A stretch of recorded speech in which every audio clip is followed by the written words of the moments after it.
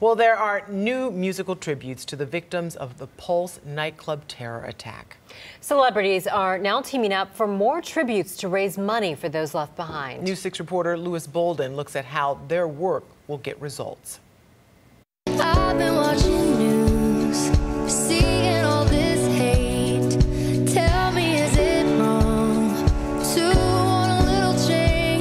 After the Pulse tragedy, celebrities are banding together to create music to benefit the victims. This song, called Hands, involves more than two dozen celebrities, including J-Lo, Mary J. Blige, and Britney Spears. Proceeds will benefit Equality Florida's Victims Fund.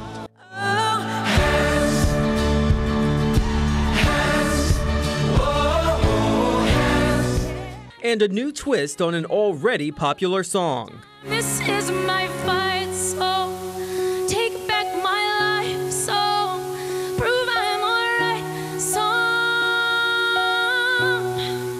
After performing at the Logo TV Network Trailblazers Awards, Rachel Platten has recorded an acoustic version of her hit Fight Song, with all proceeds going to the National Compassion Fund.